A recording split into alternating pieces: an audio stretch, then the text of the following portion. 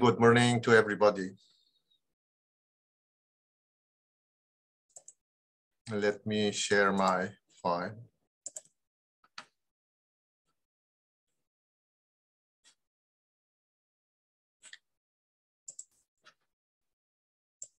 Uh, do you, can you see my presentation, my file?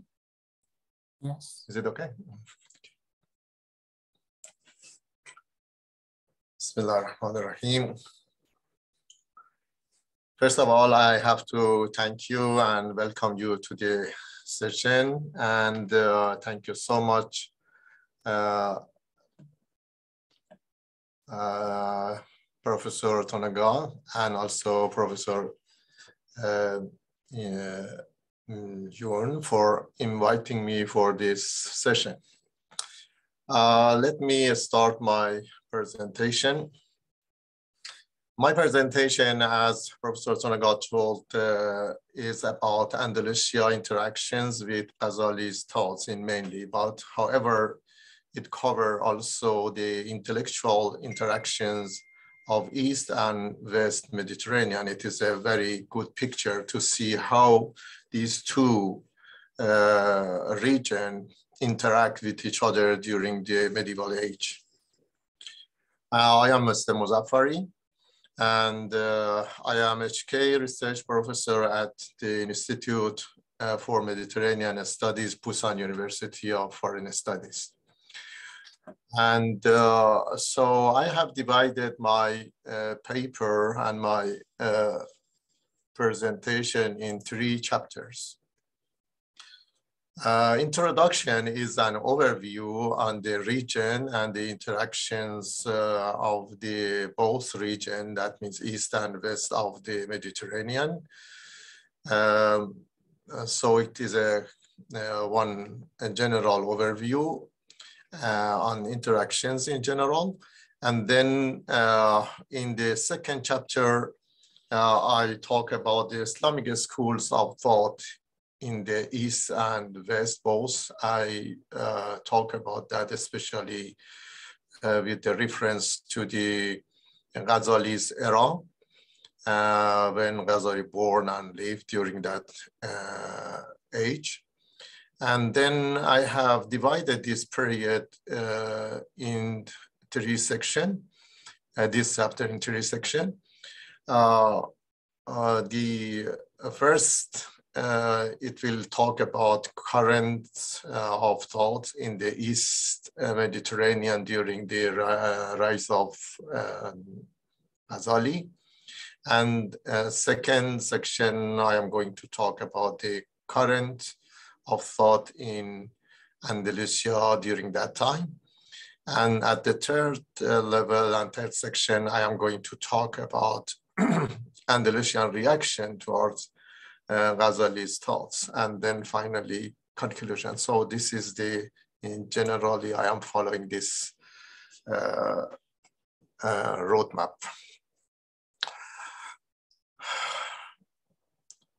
As we know, Arab uh, Muslims conquered the, Persia uh, in 16 in 63 uh, uh, 33 and 6054.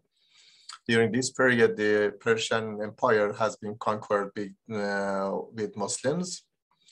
And uh, Muslims introduced the primary sources of Islam that means the Quran and Sunnah to the region, like raw materials without any categorization, as we know that the six uh, important and main uh, sources of uh, hadith, all of them are uh, collected and categorized by, by Persian scholars. So it was a very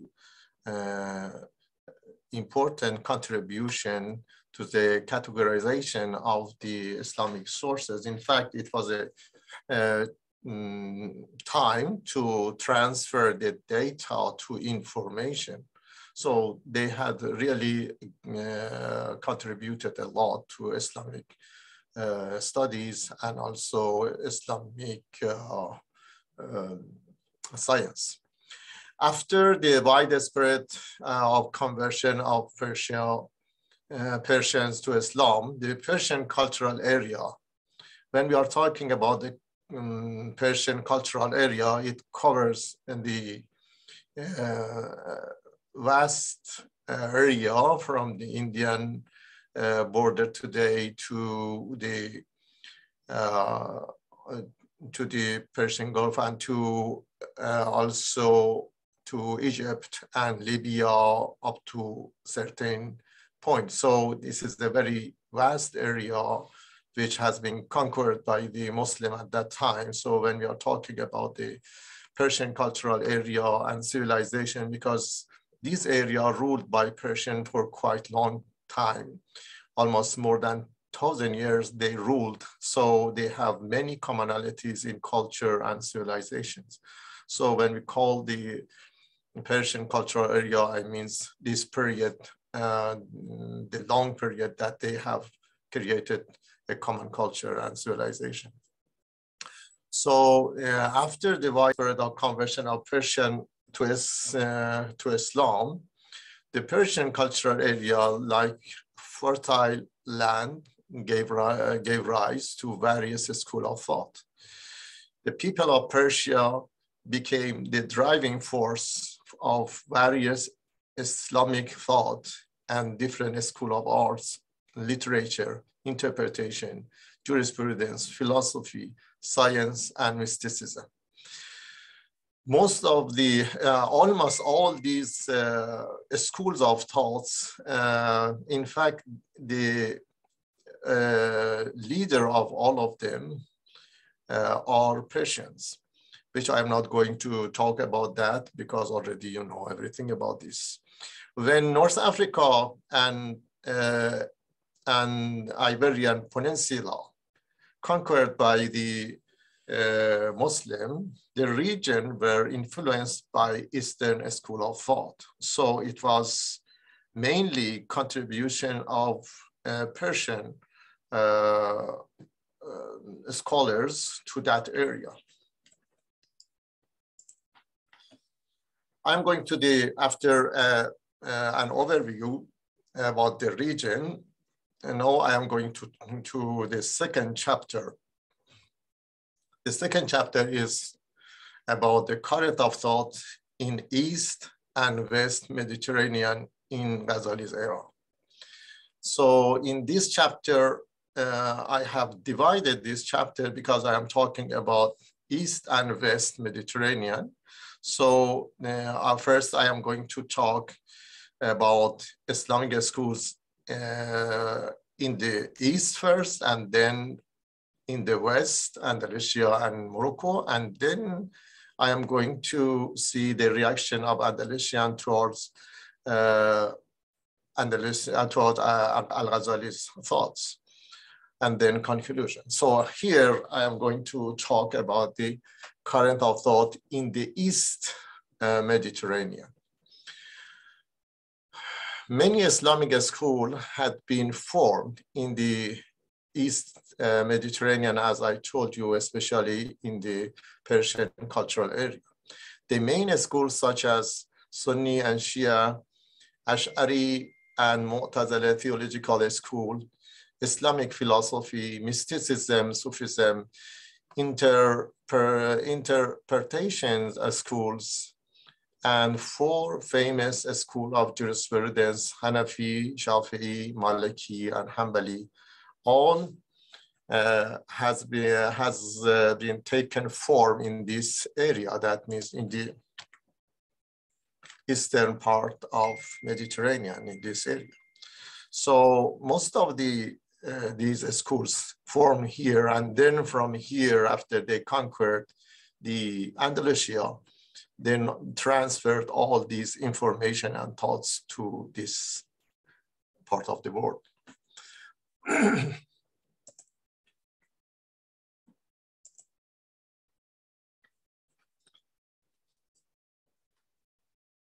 uh, current of thought in the eastern, east and west of uh, Mediterranean in the time of Ghazali So here I, I have also mentioned in the first, uh, in the, what is that, in this slide, I have talked about the distribution of the uh, different uh, school of jurisprudence. That means this is the uh, Hanafi school, which covered all these areas to uh, Egypt. And then we have Shafi school, and also is covered up to these uh, areas. Today also almost uh, is the same.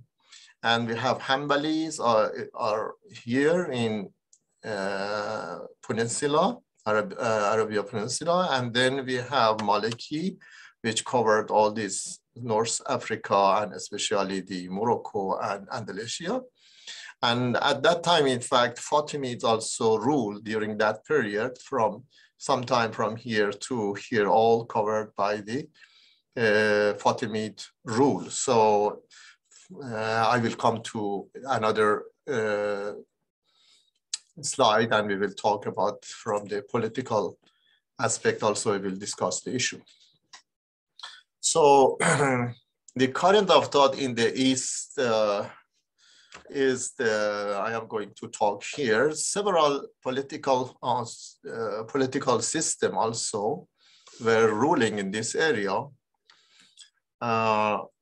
when during the, this period, that means period uh, that uh, Ghazali born and raised. So the Shahiyan, the Khwarazmid Empire, were politically dominated in the West Asia. This area all uh, ruled by uh, Shahiyan. And Abbasi Caliphate in Baghdad, it was not very uh, powerful at that time, even uh, politically, were under the influence of Shahiyan at that time. Uh, Abbasid Caliphate politically and ideologically were in competition with Fatimids. As I told you, Fatimi uh, ruled these areas. So uh, they were in competition and also they were in the weak position, in fact, at that time, the Abbasid. The Western Mediterranean, Morocco and Andalusia, I mean, was in turmoil at that time and because uh, various tribes were competing uh, with each other to control their areas. So it was a dispute in these areas to get the power. That means power struggle were going during that time here politically. So uh, Ghazali was born in uh, this period, so fifth, almost fifth centuries of uh, Muslim uh, calendar. He born in Tus, today Iran and Mashhad. So he born here. And uh, the area intellectually and religiously uh, was, uh, as I told you here, in this area when he born, it was uh, under the influence uh, of Shafi'i from the fiqh school and also Hanafi politically were ruling all these areas.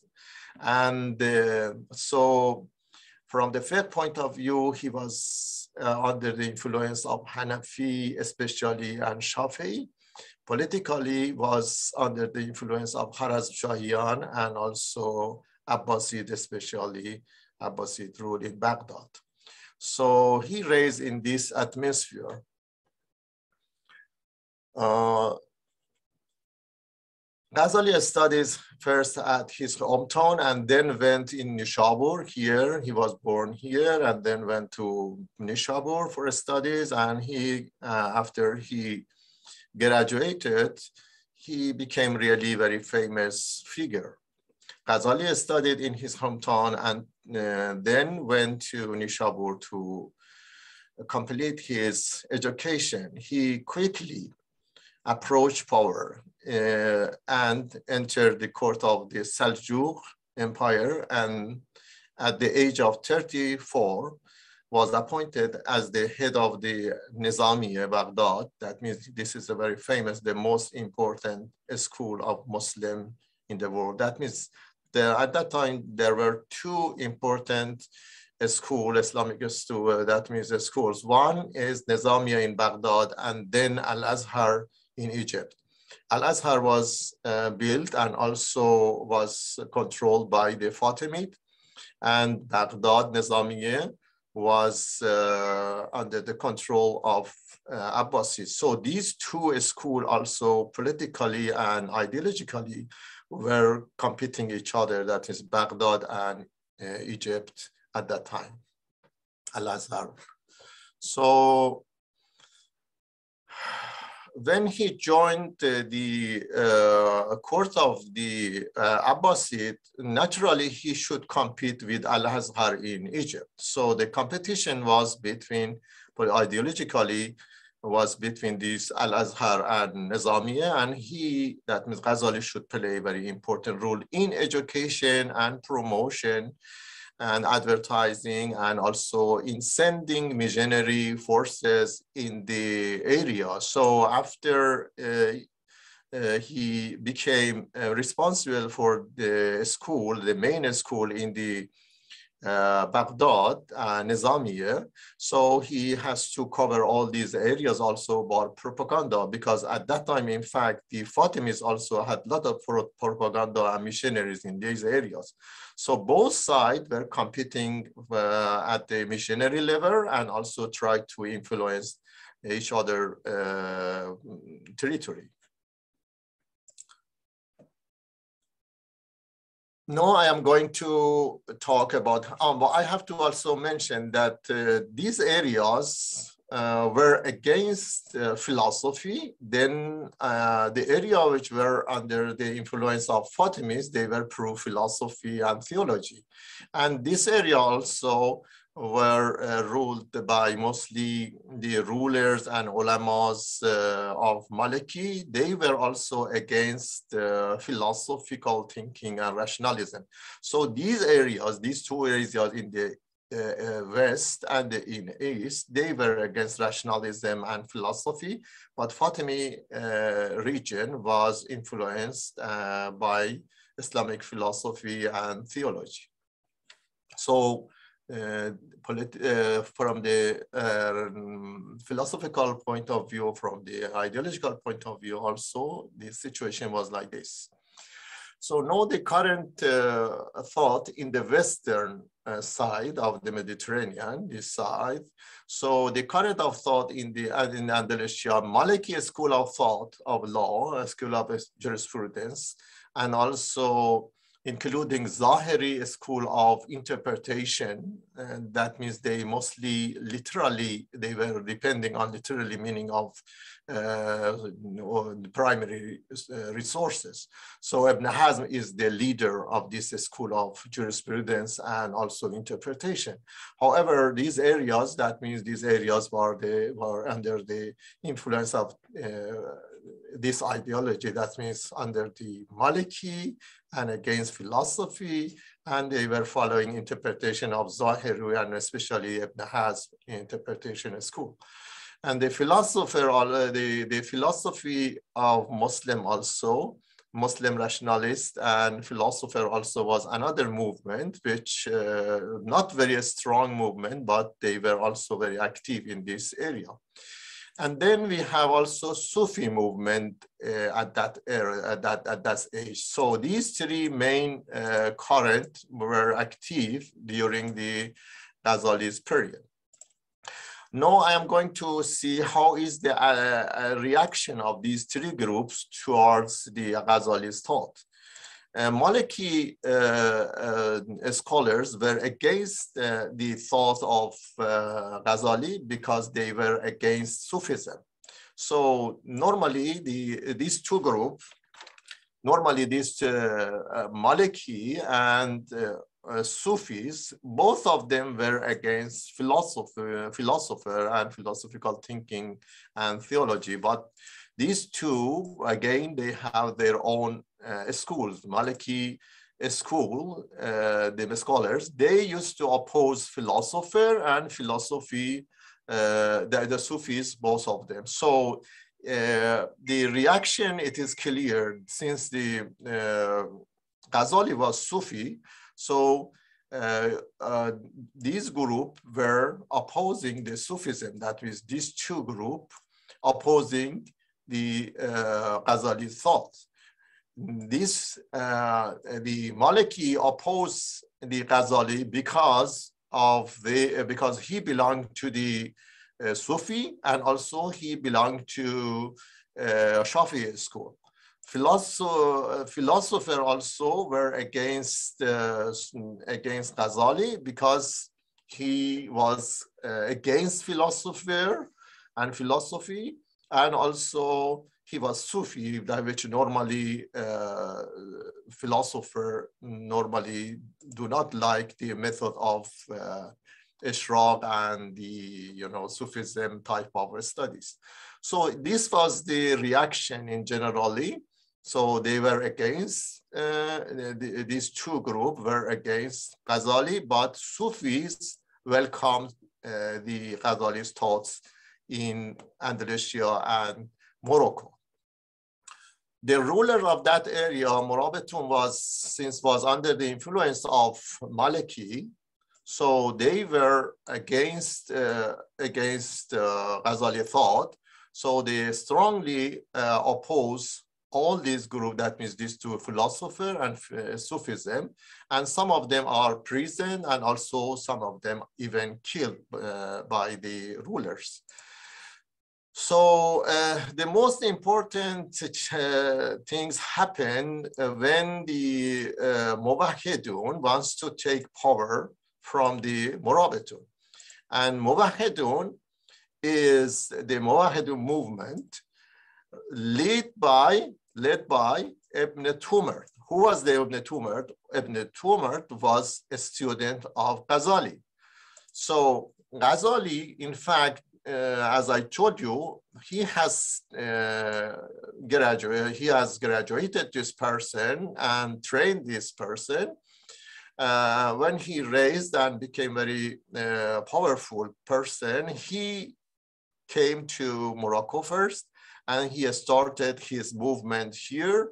And then little by little, he got power in, the, uh, in this region. And all this region covered by, uh, came under the rule of Ibn Tumert uh, movement.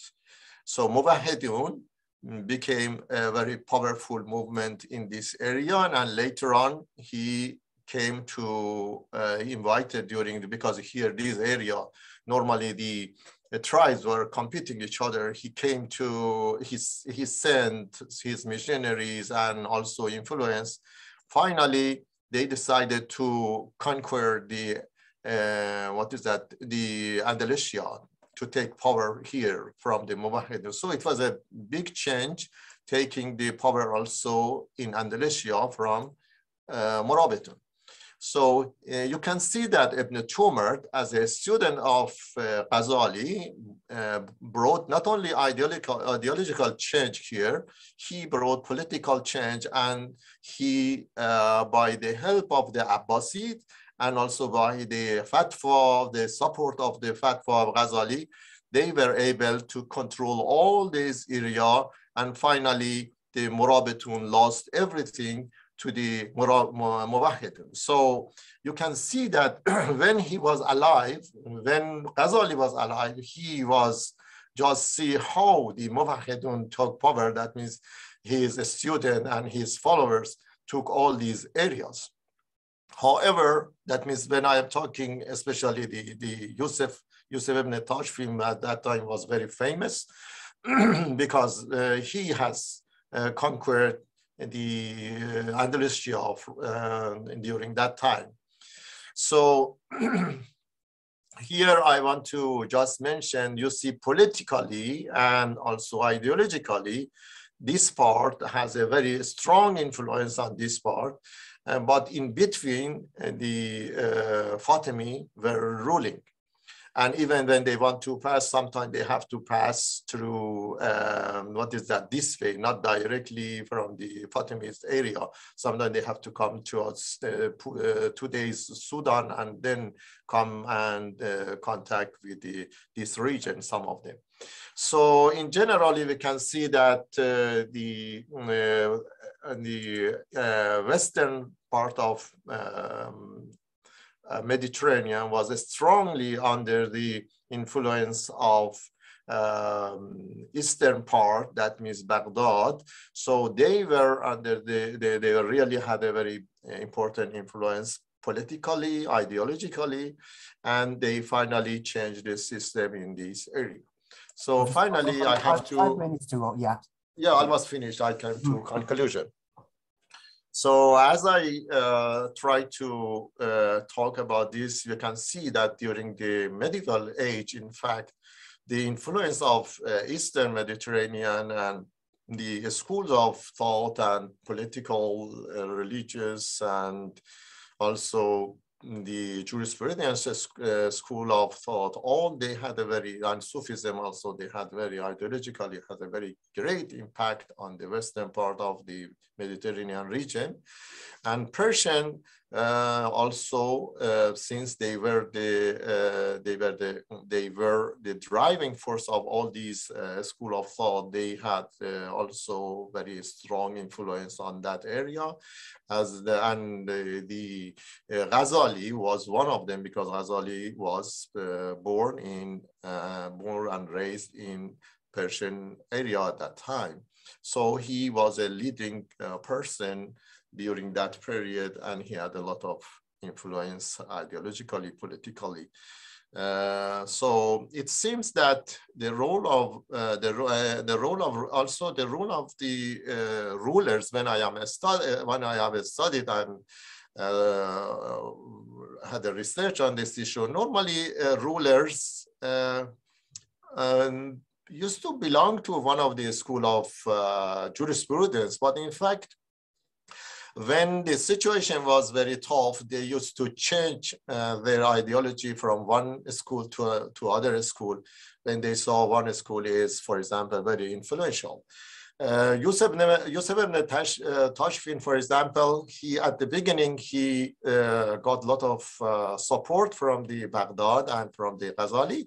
And when he took power and after they uh, controlled the area, uh, his son took power. And then, in fact, for some time, they were against Ghazali. But later on, again, they have changed. Though they were Maliki and they were Sufi, they changed their mind because the atmosphere were against them. So they have changed their ideologically. Uh, finally, the rulers, they have changed, the Muwahidin rulers changed their ideologically against philosophy, philosopher, and against also Sufism, and against uh, against Ghazali at that time. So with this, I conclude my paper, and I hope I was able to transfer my information and share my information with you. Thank you so much for hearing.